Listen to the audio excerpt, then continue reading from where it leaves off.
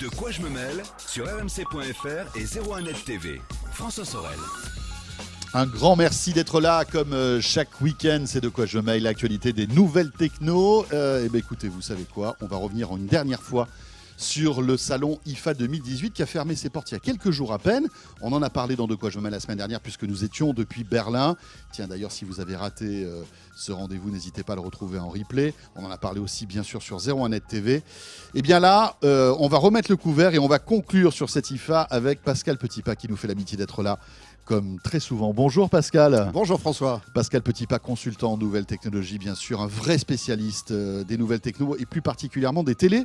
Ça tombe bien parce que l'IFA, c'est toujours le salon de la télévision, même si on voit que ce salon est un peu en perte de vitesse hein, d'année en année. On a eu quand même malgré tout quelques annonces en termes de 8K. Et euh, Pascal, bah, vous allez tout nous expliquer sur la télé 8K. Euh, et puis surtout sur cette innovation, est-ce que finalement c'est une vraie innovation ou est-ce que c'est euh, une manie marketing des constructeurs télé pour vendre encore plus de télé Tiens? Est-ce que ça a du sens Est-ce que ça? a du sens? Alors, c'est vrai que la 8K, euh, on en voit depuis très très longtemps dans les salons internationaux, que ce soit donc à l'IFA, que ce soit au CES, à l'ISE, qui est un salon euh, très intéressant, on en parle chaque année au mois de février.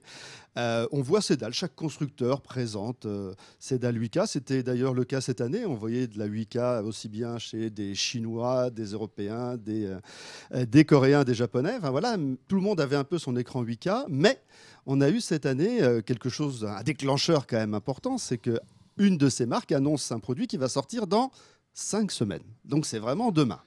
Donc, oui, c'est-à-dire qu'on passe à la vitesse supérieure. Eh Avant, on était plutôt dans le prototype, genre voilà, vous voilà, j'ai ma télé 8K, c'est beau, hein, c'est super, voilà. mais Elle bon, ça servait à rien. Il est beau, bon poisson. Non, on avait, mais voilà, mais rien de concret. Là, on arrive véritablement dans le concret. Donc, moi, j'ai décidé un petit peu d'expliquer ce qu'on va en faire. Euh, est-ce que ça a effectivement du sens? Est-ce que c'est que du marketing? Est-ce qu'il y a de la technique derrière? Voilà, on va un peu, on va un peu essayer de vulgariser tout ça. Alors déjà.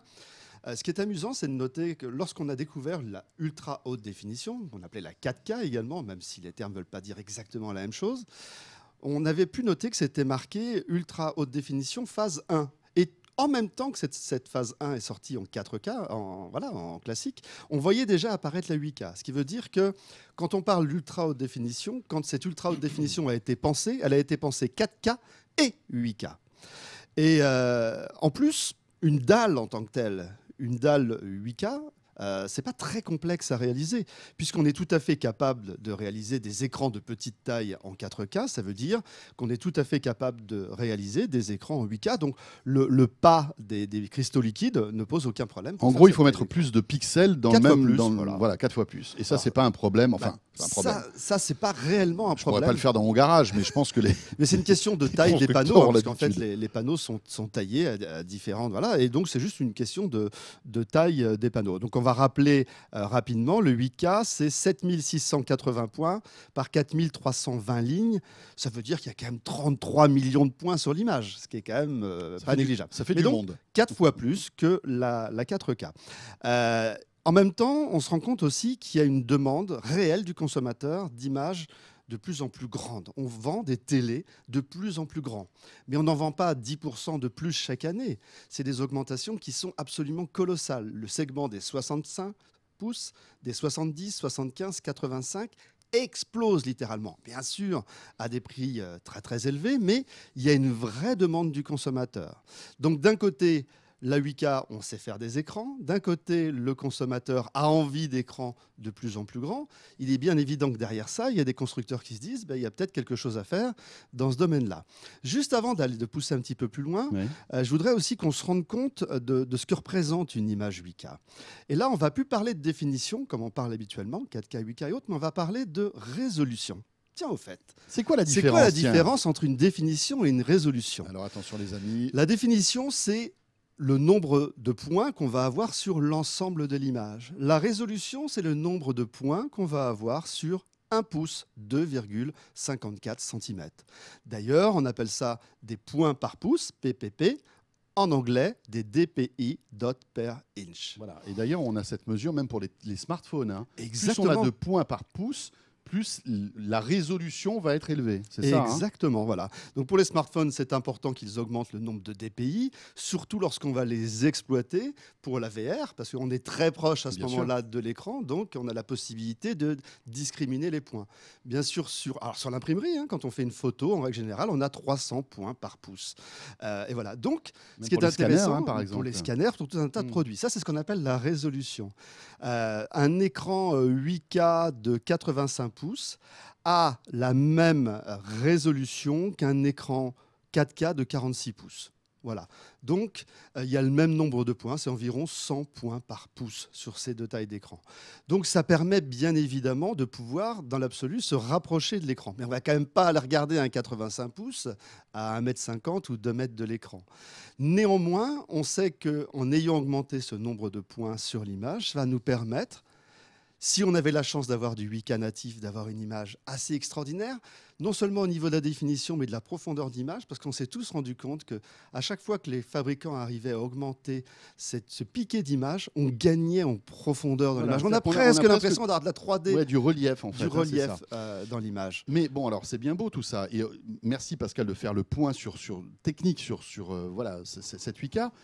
Mais est-ce que l'œil humain a cette capacité de pouvoir discerner une image 8K sur un télé, euh, par exemple, de 65 pouces à 3 mètres de distance Parce que fi- finalement, c'est ça.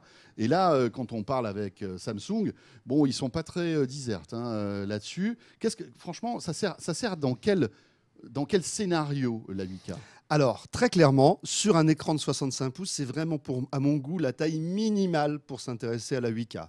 Là où la 8K prendra tout son sens, c'est sur un écran de plus grande taille, 75, 85 pouces et au-delà. Mais quand Samsung sort un télé 8K à 55 pouces, 65. ah c'est pardon, c'est petit. 65, 75 et 85. Exactement. Il y avait un 82 aussi, mais qui voilà, ne ils se pas sont rendus compte qu'à 55 ça servait à rien. Voilà, ça n'aurait pas de sens. Par contre, c'est vrai que sur un 75 pouces, qui ça représentait quand même une sacrée image. Moi, j'ai vendu à une époque des 103 pouces Full HD dans une marque japonaise. Oh mon dieu. Euh, mais c'était du Full HD. Imaginons 103 pouces, c'était c'était énorme. Et donc, euh, si on se rapprochait un peu de l'image, ben, on voyait comment elle voyait, était Bien fabriquée. sûr, bien sûr. Là, sur un 75 pouces, ça va vraiment permettre, ou 85 bien sûr, ça va vraiment- permettre à 3 mètres, 3 mètres 50 de distance, d'avoir le, le, le piqué le plus absolu euh, de ce qui existe aujourd'hui. Euh, une nouvelle fois, ce qui est intéressant, c'est de se dire qu'on a 4, fois plus de points que sur un modèle 4K. Donc, ce qui va être tout à fait intéressant et qu'on n'a pas pu voir au salon, c'est de mettre un 75 pouces, 75 pouces 4K à côté d'un 75 pouces 8K et de véritablement voir s'il y a une distance raisonnable de salon, 3 mètres, 3 mètres 50, on a une perception qui sera différente. Je pense qu'on aura effectivement plus de finesse, mais plus de ce- ce type profondeur. de, ce type de comparaison aujourd'hui? Bah, Aujourd'hui, ils veulent vraiment mettre en avant le 8K. Donc eux, euh, quand on arrivait sur le stand Samsung, la première chose qu'on voyait, c'était ça. Avec d'ailleurs, il faut le noter, euh, une démonstration plutôt très bien faite. Après, moi, je suis très Saint Thomas. C'est-à-dire tout ce que j'ai vu au salon, ça fait des décennies que je vais dans les salons internationaux. Euh, je sais que parfois, ce que j'ai on vous la fait pas. et ce que je constate moi-même, ça peut être différent. Là, je leur fais tout à fait confiance, il n'y a pas de souci, mais j'ai envie de pouvoir faire cette petite disposition. Parce qu'en effet, soyons très clairs, si on attend les sources 8K pour acheter un écran 8K, On n'est pas couché. pas prêt d'en acheter. Non, Parce que clair.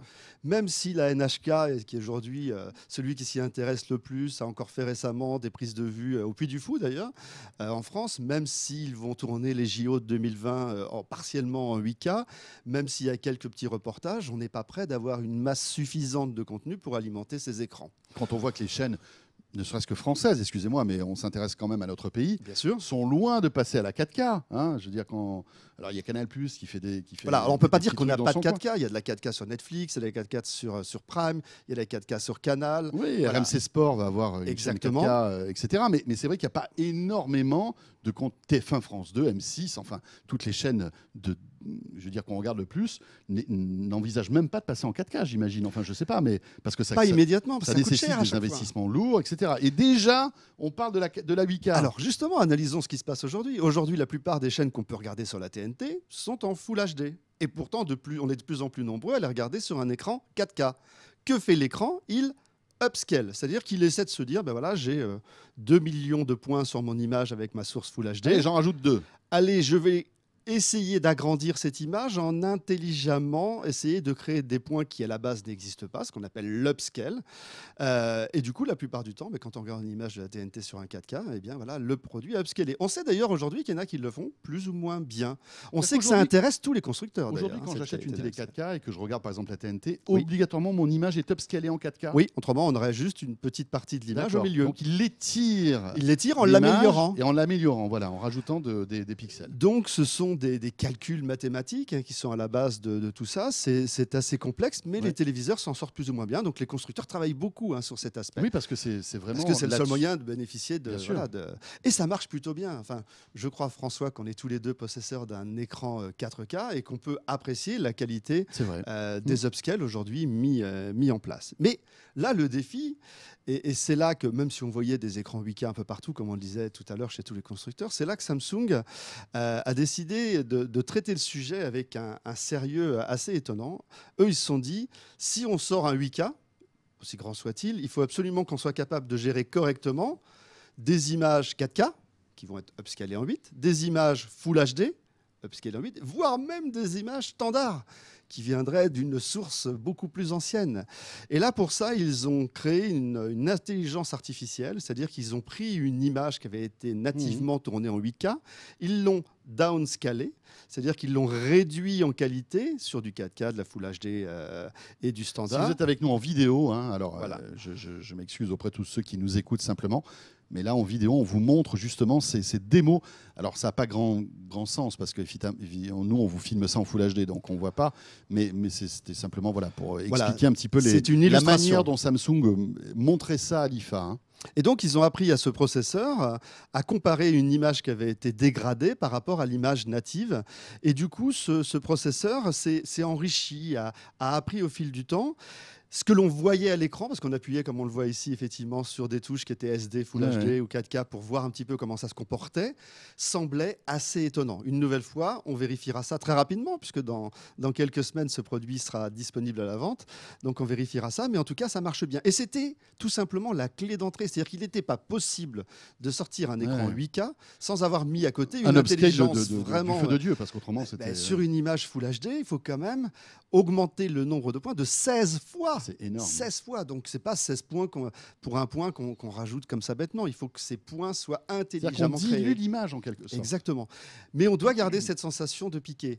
Et si on arrive effectivement, et s'ils arrivent à nous prouver que Mhm. sur un très grand écran, on arrive à être plus piqué que sur un écran 4K standard avec une source un peu dégradée, eh bien, ils auront gagné leur pari. Alors, Voilà. L'intelligence artificielle, hein, c'est ce qu'ils appellent. euh, Exactement. voilà. Alors on peut se dire, mais, mais pourquoi c'est Samsung qui se met à faire ça, à faire ça? Alors Samsung, en fait, euh, globalement, je crois qu'ils n'avaient pas trop le choix.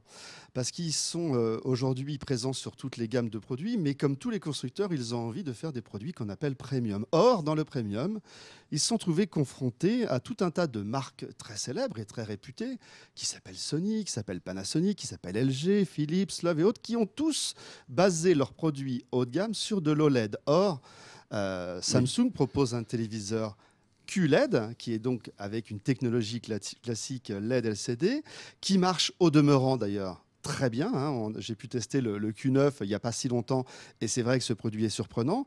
Mais pour le consommateur, quand il y a tant de monde sur le LED et qu'on essaie de défendre un autre concept tout seul, eh bien c'est difficile. Donc ils avaient plutôt tendance à perdre des parts de marché dans les produits premium. Donc, et donc pour un raconter moyen. une nouvelle histoire, ils sont Exactement. passés à la 8K. Donc voilà, au-delà du fait euh, d'avoir euh, eu à, à disposition une technologie, et Dieu sait, on sait que Samsung, dans le terme de microprocesseurs, Ouais. est tout à fait apte à le réaliser de manière euh, très qualitative. Euh, voilà, ils ont eu la matière et ils avaient la raison marketing et commerciale pour, euh, pour le faire. Donc c'est quand même un événement de se dire qu'un un écran 8K sort. Alors, on peut se dire un, un mot sur les prix quand même. Euh, en gros, le 65 pouces, euh, 5000 euros. On n'est pas sur du très très grand public. hein. Euh, euh, 75 pouces, 7000 euros et 85 pouces, 15 000 euros. Qu'entre le 75 et 85, il y a 10 pouces Ouais. d'écart, il y a 10 000 euros. Il y a 10 000. Mais par de- contre, le produit qui est vraiment surprenant, c'est quand même 75 pouces à 7 000 euros. Je vais faire hurler euh, beaucoup de nos auditeurs, mais euh, c'est quand même un prix qu'on pourrait presque qualifier de raisonnable. C'est-à-dire cette taille-là d'image qui est quand même assez incroyable sur une technologie 8K. Oui, parce que les 75 pouces, ça coûte très très cher. Très très Il cher. y a, il y a 10 ans, c'était euh, même Ah, mais hors de c'était prix. même intouchable. Intouchable. Et là, euh, globalement, c'est quoi 1000 euros de moins à peu près? Donc, est-ce qu'un 4K à 1000 euros de moins ou un 8K Que va Oui, être la tout- réaction du consommateur tous ceux qui sont Comment prêts à va être mettre la 7 8 000 euros dans une. Voilà. cha- dans- Donc c'est ça va être intéressant et c'est un moyen en tout cas pour Samsung et ils ont réussi leur coup. La preuve c'est qu'on en parle aujourd'hui, mais beaucoup de médias dans le monde ont parlé de l'arrivée de ces produits. Pascal, je dois acheter un 65 pouces aujourd'hui. Vaut mieux que je me tourne vers du 8K ou, sincèrement, la 4K suffit. Alors moi je serais plutôt adepte de dire intéressant à partir du 75. Sur le 65, il faudra vraiment qu'on puisse en magasin et c'est là tout l'intérêt des magasins physiques, c'est d'aller voir euh, les produits, essayer de trouver des magasins où on aura vraiment la possibilité de comparer les deux, un D'accord. 65 8K et 4K. Vous vous ferez votre propre opinion. Il est probable d'ailleurs que le 65 euh, en 4K soit un OLED d'un côté et de l'autre côté vous ayez du LED 8K. Ça sera aussi une décision à prendre. Ouais, ça, Mais les images sont intéressantes à comparer. Ouais, c'est vraiment. En euh, tout cas, un intéressant. bon coup de communication qui sera peut-être Ouais, euh, voilà, que, vraiment concluant dans quelques semaines si les résultats sont à l'image de ce qu'on a pu voir. Mais cela dit, après des télés à 75 ou 85 pouces, même si les prix baissent, il faut avoir la place de mettre ça. Autant aux US, euh, les, les gens, les gens des salons mais ouais. immenses, mais, mais, mais on prend par exemple Paris. Euh, en général, on vit dans des petits appartements. On- Enfin, on n'a pas la culture d'avoir des grands écrans. Même si ces, ces écrans grandissent, vous pensez que demain on pourrait installer des 75 ou 85 pouces à la maison? Très clairement, je pense, France? et on a déjà eu l'occasion d'en parler ici, moi je pense que dans quelques années, alors je serai peut-être plus devant ce micro, mais l'écran qu'on aura, ça sera un mur. Oui, ça sera le mur. Oui, oui, voilà. oui. Mais ça, c'est autre euh, chose. On se que- posera même plus cette, question de, Ouais. de- de taille d'image. On fera un peu la taille d'image que l'on souhaite. Et là, on sera en 16K. Peut-être.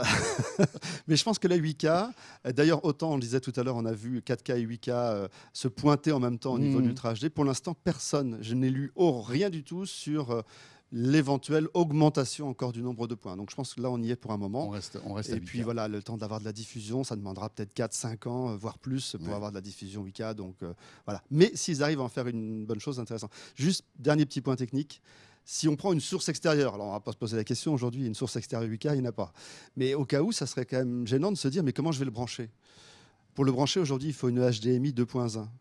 Or, le One Connect, qui est le petit boîtier extérieur du Samsung, n'a pas de HDMI 2.1. Donc on va acheter un téléviseur là, où on ne pourra pas demain, s'il y a une source, le brancher. Alors, il faut savoir que Samsung a pris la décision de sortir ce produit, même s'il n'a pas aujourd'hui la HDMI 2.1, mais dès que cet HDMI sera validé et Ouais. testé, en début d'année 2019, les One Connect, c'est-à-dire les boîtiers de connexion, seront changés avec des boîtiers qui auront cette prise, Changer gratuitement? Changés gratuitement. Bon, ça c'est cool. On est sur des produits chers, donc c'est bien. quand Oui, même. oui, c'est c'est bien. presque normal. Non, mais ça, prouve Mais en tout cas c'est le bien. sérieux du Bonne SAV de, Voilà, voilà, du suivi client de chez Samsung. absolument. Le micro LED, ça c'était Oui. aussi une autre techno euh, qui, qui était présentée, qu'on avait déjà un petit peu découverte au CES. Exactement, The Euh, Wall, voilà. toujours euh, Samsung, Chez qui l'a Samsung aussi, bien sûr. Alors là, d'avoir son OLED à lui finalement. hein. Eh oui, exactement. Euh, alors le micro LED, c'est quoi? On va faire très simple. On a tous été dans un, jour dans un stade de football où on a vu ces écrans géants, mais là c'est pas de la micro LED, c'est des, Oui, c'est c'est des du- gros gros points lumineux. LED. Mais patate LED, c'est pas mal ça. Des gros points lumineux, mais comme on regarde de très très loin, euh, bah, ça pose pas de problème, puisqu'en fait la Mm. résolution elle est liée quand même à, à la distance. Mais le micro LED, chaque point étant émissif, un peu comme l'OLED. Sauf que l'OLED est un système, le O signifie organique. Certains pensent, disent que l'organique, à base de carbone, pourrait avec le temps se Oui. dégrader légèrement. Il n'y a pas de, de preuve de ça. Mais néanmoins, les, les LED qui sont utilisés dans ces grands panneaux d'affichage sont inorganiques. Il n'y a pas de carbone dedans. Donc une durée de vie qui est pour l'instant. peut imaginer pour cette taille d'écran-là, euh, euh, voilà. vaut, Et vaut mieux pas qu'on ait des pixels. voilà, qui mais une nouvelle fois, pas de problème avec l'OLED aujourd'hui sur l'organique. Ouais, hein, Il n'y a rien sûr. qui a été euh, Mm. prouvé sur le côté. Mais voilà, néanmoins, tout le monde s'intéresse aussi à cette technologie euh, micro-LED. Pas seulement d'ailleurs les fabricants de télé, mais aussi Apple s'y intéresse. Enfin voilà, il y a plein de produits qui pourraient à terme recevoir cette techno euh, Des nouvelle écrans de smartphone par exemple? Par exemple, mais il faudra attendre un petit peu aussi, parce que le problème, c'est que ça va être au départ Très, très cher. Très cher. Donc le, le défi pour, euh, pour Samsung, pour LG, qui présentait l'un et l'autre Mm. du micro LED, il faut savoir que Sony l'avait présenté avec un produit remarquable qui s'appelait le Clédis il y a quelques temps. C'était une des mes plus belles expériences technologiques de voir cet écran magique. C'est eux d'ailleurs qui sont capables de faire les micro LED les plus petites aujourd'hui, Oui. moins de 30 microns. Une diode électroluminescente de moins de 30 microns plus fine qu'un cheveu. Je suis Ouais. bien placé pour parler de ces détails capillaires. Oui, c'est vrai. Mais, mais donc voilà, c'est assez impressionnant. Et donc le défi des constructeurs, parce que là, ils nous présentaient des produits qui sont, euh, voilà, qui, qui font euh, des, des tailles euh, d'images qui sont absolument incroyables. Sur le, le LG faisait 173 pouces, 4,39 m de diagonale, et le Samsung 146 pouces, 3,71 m de diagonale. On imagine bien qu'il y a peu de consommateurs qui ont ça. Mais c'est qu'ils n'arrivent pas à réduire encore suffisamment la taille Mhm. de ces petites LED. Et donc le défi, ça va être d'arriver à réduire la taille de ces LED et de pouvoir donc, aujourd'hui on pourrait plus se dire que ce sont des mini LED plutôt Mhm. que des micro LED, arriver à faire des écrans grand public. Je pense qu'au CES, cher François, nous allons découvrir des produits qui ne feront plus cette taille démente, mais peut-être un petit peu plus grand public.